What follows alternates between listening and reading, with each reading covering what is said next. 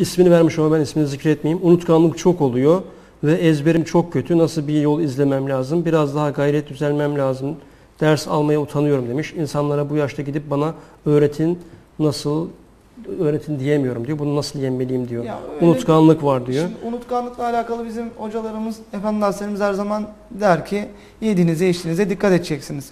Şüpheliden kendinizi muhafaza edeceksiniz ki ne yapmasın? Biliyorsunuz ki insan vücuduna haramın girmesi, harama bakması, haram dinlemesi, haram yemesi bunlar unutkanlığa sebep olur. O yüzden dolayı e, hocalarımız bunu söylediği için bu şekilde cevap verelim.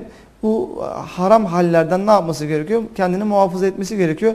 Öbür türlü e, öğrenme meselesine gelince yarın ahirette huzur, Mevla Teala'nın huzuruna çıktığımızda Resulullah sallallahu aleyhi ve sellem huzuruna çıktığımız zaman da e, ya kulum benim kelamımdan bir oku. Veya işte Resulullah sallallahu aleyhi ve sellem yanında bir hesaba çekilirken sen neden bunu yapmadın dendiği zaman da e, bir yüzümüz kızaracağını ebedi bir hayatta burada yüzümüz kızarsın. Gidelim dinleyelim söyleyelim. Bizim de yüzümüz kızarıyor. Yani herkesin alemin de yüzü kızarır öbürünün de yüzü kızarır. Yani bu gururu kırmak lazım. Zaten nefsin en büyük oyunlarından bir tanesi de bu.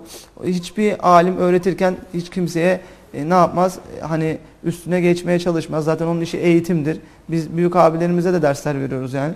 O yüzden dolayı hiçbir şekilde sıkılmaca, darılmaca olmaması lazım. Çünkü ebedi bir hayata bilmeden gitmektense bu hayatta yarım saat, bir saat sıkıl, bir hafta sıkıl, on, on hafta sıkıl, bir şeyler sıkıl ama eğitimini al yani. Evet.